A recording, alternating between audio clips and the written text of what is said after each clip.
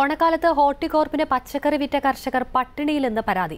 നെടുമങ്ങാട് അന്താരാഷ്ട്ര മാർക്കറ്റിൽ സംഭരിച്ച പച്ചക്കറിക്ക് ലക്ഷങ്ങൾ കുടിശ്ശിക വരുത്തിയെന്ന് മാത്രമല്ല വർഷം തോറും പതിവുള്ള ബോണസും ഇത്തവണ കിട്ടിയില്ലെന്ന് കർഷകർ പറയുന്നു നെടുമങ്ങാട് അന്താരാഷ്ട്ര മാർക്കറ്റിൽ സ്ഥിരമായി പച്ചക്കറി വിൽക്കുന്ന സുജിത് ലാൽ.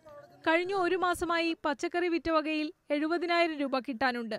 ബോണസും കിട്ടിയിട്ടില്ല.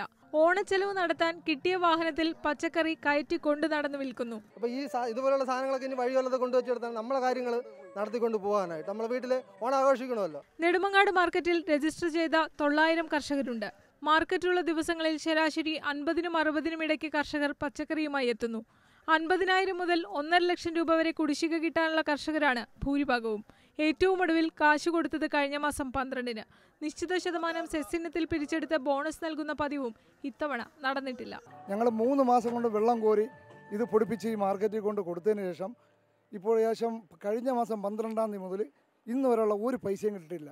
കഴിഞ്ഞ വർഷം എനിക്ക് ഒൻപതിനായിരത്തി തൊള്ളായിരത്തി തൊണ്ണൂറ്റി ഒൻപത് രൂപ ഇവിടുന്ന് ബോണസ് അയച്ചായിരുന്നു. ഈ ബോണസും ഇതുവരെയായിട്ട് ഒരു രൂപ അയച്ചിട്ടുമില്ല. എന്നാൽ പച്ചക്കറി നൽകിയ വകയിൽ ഇരുപത്തി ആറ് ലക്ഷത്തി എൺപത്തി മൂവായിരത്തി ഒരുന്നൂറ്റി മുപ്പത് രൂപ ഹോർട്ടികോർപ്പ് കുടിശ്ശിക നൽകാനുണ്ടെന്നാണ് മാർക്കറ്റ് അധികൃതർ പറയുന്നത്.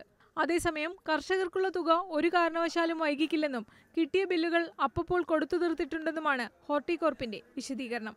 ഏഷ്യാനെറ്റ് ന്യൂസ് തിരുവനന്തപുരം.